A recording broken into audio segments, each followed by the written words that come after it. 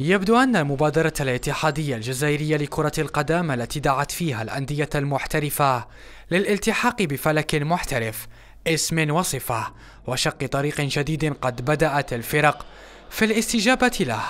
اتفاقية ثلاثية الأندية ومديرية المراقبة والتسيير المالي وكذا مكاتب المحاسبة وإدارة الأعمال. هذا يدخل في إطار تطبيق آه، آه، إرشادات المكتب الفيدرالي لنيل اعتماد للكرة المحترفة.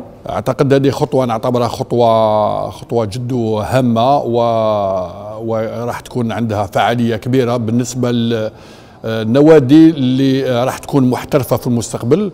وبالتالي حتى التسيير من من الناحية الإدارية راح يكون تسيير محترف ومراقب قد بادرت لإمضائها مولودية الجزائر اتبعها كل من شباب الوزداد وجمعية عين مليلة ونجم مقرة وآخرهم اتحاد بالعباس ونادي بارادو وإلى حين استكمال موكب الأندية وإمضائها جميعا على ذات الاتفاقية التي ستسمح إن صار عليها المتفقون بأن تخلق سياسة جديدة مبنية على الموازنة بين إيرادات الفرق وأتعابها ما يعني الانتهاء من مسلسل طويل أنهكت فيه النوادي والجمعيات كاهل الخزينة العمومية.